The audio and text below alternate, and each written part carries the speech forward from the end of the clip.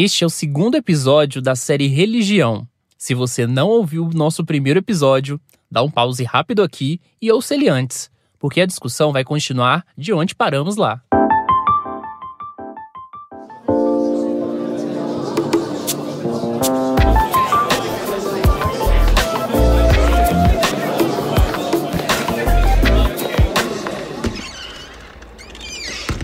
Introvertendo, um podcast onde autistas conversam.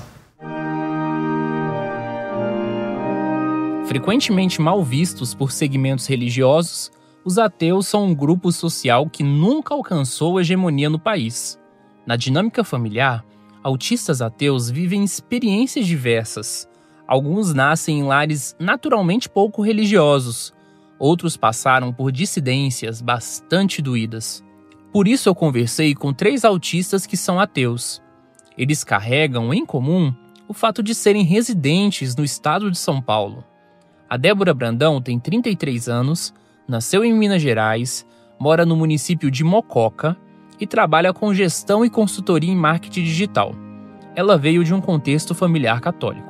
E eu fui criada dentro dos conceitos da religião católica. Então eu fui batizada, ia à missa aos domingos, fiz catecismo, fiz primeira comunhão, aprendi a rezar todos os dias para dormir, mas sempre eu fui muito questionadora e eu questionava muito ainda criança, muitas metáforas e eu não entendia eles o jeito que era explicado não fazia sentido para mim, não tinha um sentido lógico.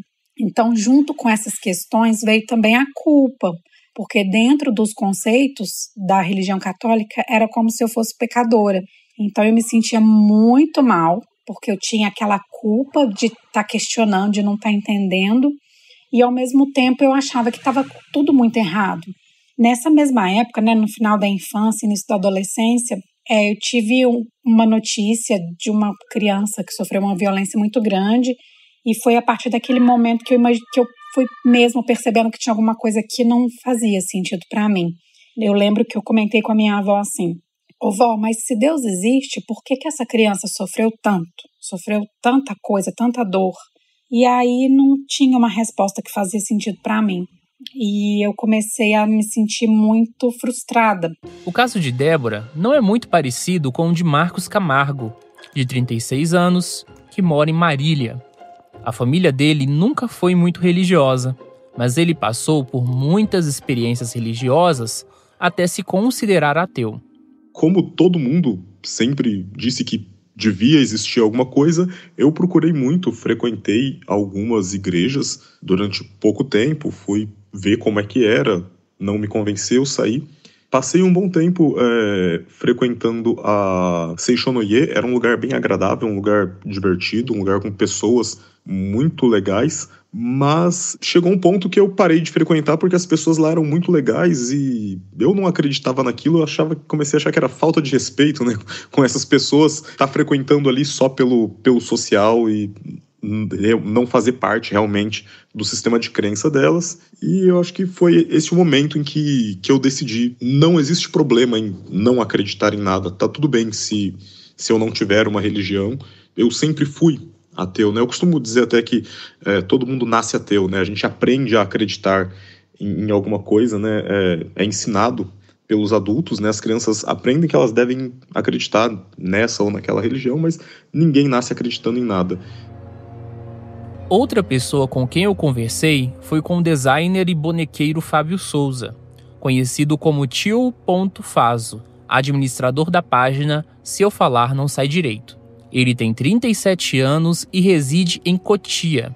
O momento em que Fábio se descobriu ateu é até um pouco curioso, e ele contou para mim como foi. Numa aula de religião na escola, quando eu tinha 12 anos, a freira falou assim que os animais não tinham alma. E eu perguntei, mas como assim que animal não tem alma? Deus não fez todo mundo igual, irmã? Ela respondeu sim, só que os animais são inferiores aos seres humanos. E a coisa dos animais, para mim, sempre foi muito importante. Então, quando ela falou isso, que não tinha alma e que era inferior, eu falei assim na aula de religião, tá, desculpa, então não concordo com o seu Deus. Para mim, um Deus que fala isso não existe. A irmã ficou branca, né? chamou, chamou minha mãe para conversar. Ela falou: Ah, se ele tá falando isso, tudo bem, né? Fazer o quê? Faz parte. Histórias assim são até engraçadas.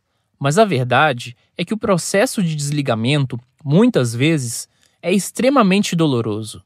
Envolve bases e crenças que se desfazem, relações de amizade que se perdem, uma rotina que não mais existe. Não é fácil para todo mundo. É um processo de desconstrução muito grande e é bem dolorido, porque a gente cresce achando que uma coisa é verdade e de repente ela já não passa a fazer mais sentido para você, você se vê como peça quebrada ali. Eu me senti aquela pedra no sapato muitas vezes, porque quando foi adolescência, final da adolescência, início da vida adulta, eu era aquela pessoa chata que queria impor o que eu acreditava, né, ou que eu não acreditava. Eu perguntei para os três se era possível fazer alguma relação de autismo com ateísmo. Afinal, algumas pessoas gostam de dizer que autistas têm dificuldades com pensamentos pouco concretos. Acho bem difícil né, falar sobre os autistas de forma geral, é, até porque eu não conheço muitos autistas, né, e o transtorno ele se manifesta de muitas formas diferentes, né? Cada autista é, é um autista mas eu acredito que em alguns casos pode sim ter relação, né, o autismo com o fato da pessoa não ser religiosa e também com o fato de ser ateu, né? Porque existem pessoas que não são religiosas, mas que ainda acreditam em Deus. Mas é, eu acredito que o autismo ele pode sim, em alguns casos, é, trazer complicações para as duas coisas, né? Conseguir acreditar em Deus e também conseguir é, ter uma religião. Porque é muito difícil a gente muitas vezes entender e conseguir se encaixar nas regras né, sociais que, que existem em, em N ambientes que a gente vai, vai conviver, né? É, por exemplo, você tem algumas regras na sua casa, você tem outras regras na escola, aí você tem outras regras em outro ambiente, um clube, um, são, são muitas coisas que, que é diferente. Aí acaba que a igreja acaba sendo outro lugar com outras regras. Então, assim, são muitas regras para você entender e, na minha opinião, seria mais uma complicação sem tanta utilidade assim para minha vida prática, né? E é muito diferente e é muito complicado e tipo tem muitos rituais é, a serem aprendidos e, e isso soma mais uma carga de coisas que você precisa aprender e precisa dominar e, e, torna a vida um pouco mais complicada,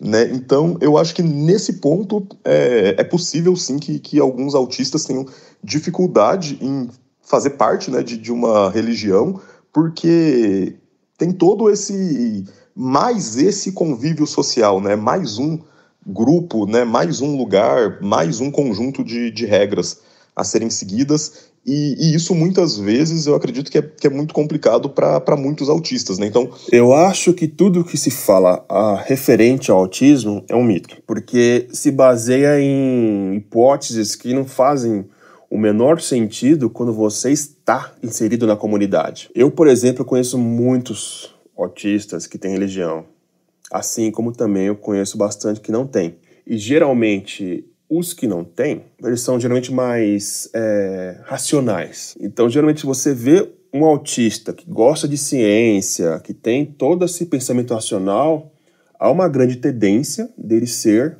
um autista ateu. Mas isso não é regra.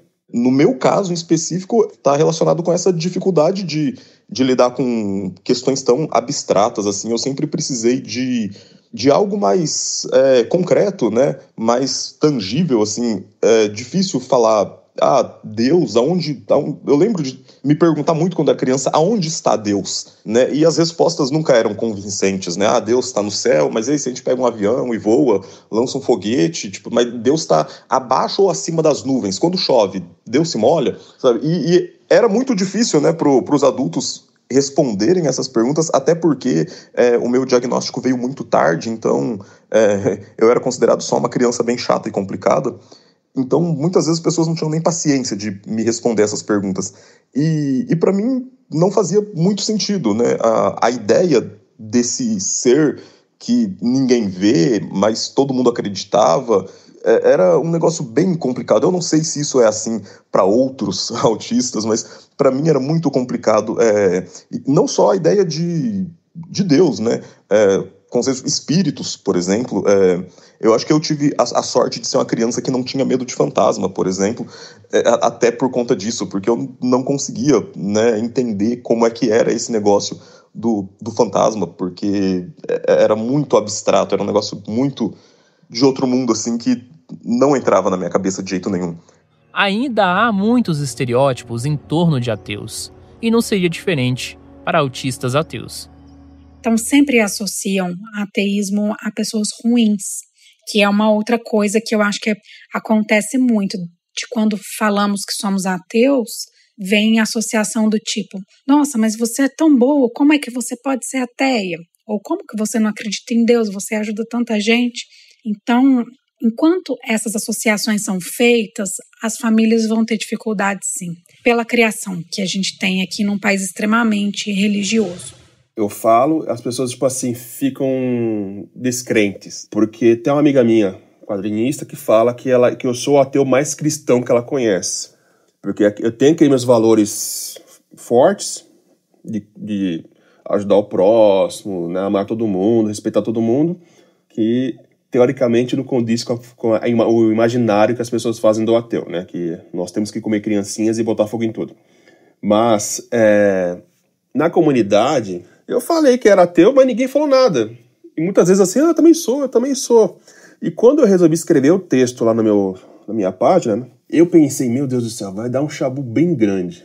Mas eu fiz o que eu estou fazendo com você. Eu tentei explicar como é que é a minha visão sobre religião, que para mim ela não é necessária, mas eu sei que para outras pessoas é necessária. E as pessoas curtiram muito, pro meu espanto, né, que elas curtiram muito. achei que ia ter gente querendo me crucificar. Entender autistas que não creem é fundamental para se quebrar um dos mitos de que autistas são anjos ou seres celestiais. Autistas são seres humanos tanto como as demais pessoas que você vê e interage no dia a dia. Parece até bobo e óbvio dizer isso, mas nem sempre, dentro da comunidade do autismo, isso é óbvio para muitas pessoas.